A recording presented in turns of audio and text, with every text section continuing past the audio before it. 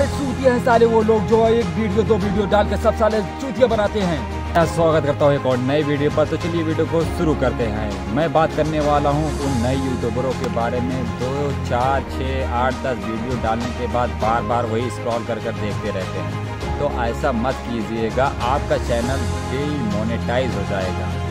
क्योंकि आप अगर अपने चैनल को देखेंगे बार बार तो उसकी रीच नहीं जाएगी और आपका चैनल भी मोनिटाइज हो जाएगा।